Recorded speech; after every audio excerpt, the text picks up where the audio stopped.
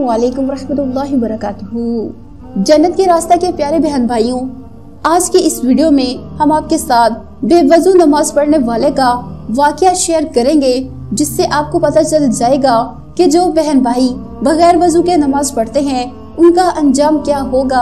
आजकल दुनिया इतनी मसरूफ हो गई है कि नमाज़ के लिए पाँच वक्त का टाइम निकालना उनके लिए बहुत ज़्यादा मुश्किल हो चुका है। और वो जल्दबाजी में बगैर वज़ू के नमाज़ पढ़ लेते हैं। कुछ तो ऐसा भी करते हैं, यानी जोहर को वज़ू किया तो उसके साथ ही असर की नमाज़ पढ़ ली। तो प्यारे बहन भाइयों, इस तरह से आपका वज़ू मुकम्मल नहीं रहता, क्योंकि हम आपको एक आगे की वीडियो में भी मुकम्मल तफसील बताएँगे किस तरह से वज़ू टूट जाता है।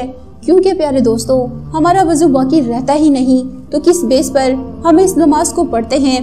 मुकम्मल तफसील हम आपको बताएँगे, लेकिन सबसे पहले कब्र में आग भड़क उठी एक बेवजू इंसान की, जो के बेवजू नमाज़ पढ़ता था। मुकम्मल तफसील बताते हैं, हज़रत सैदना उमर बिन शर्जील रज़ी अल्लाह से रवायत है कि एक शख्स इंतकाल कर गया, जिसको लोग मुतकी और परहेजगार समझते थे। जब उसे कब्र में दफन किया गया तो फरिश्तों ने फरमाया, हम तुझको अल्लाह ताला के अजाब के 100 कोड़े मारेंगे। इसने पूछा, क्यों मारोगे? मैं तो तकवा और परहेजगारी को इख्तियार किए हुए था। तो फरिश्तों ने फरमाया, चलो पचास कोड़े ही मारेंगे। इस पर वो शख्स बराबर बहस करता रहा। यहाँ तक कि वो फरिश्ते एक कोड़े पर आ गए और उन्होंने अजाब इलाही का एक कोड़ा मारा, जिससे तमाम कबर में आग भड़क उठी। तो उसने पूछा कि, तुमने मुझे कोड़ा क्यों मारा? फरिश्तों ने जवाब दिया तूने एक दिन जानबूझकर बेवजू नमाज़ पढ़ी थी और एक मरतबा, एक मजलूम तेरे पास फरियाद लेकर आया, मगर तूने इसकी मदद ना की। इस्लामी बहन भाइयों, बेवजू नमाज़ पढ़ना सख्त जुरात की बात है।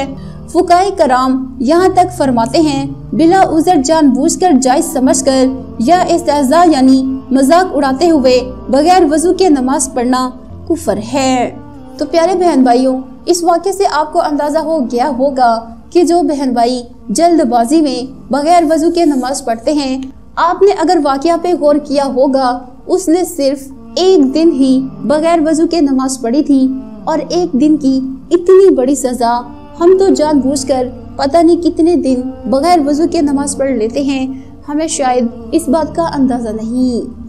अल्लाह ताला तमाम उम्मत मुसलमान पर अपनी खास रहमत करे। आमीन।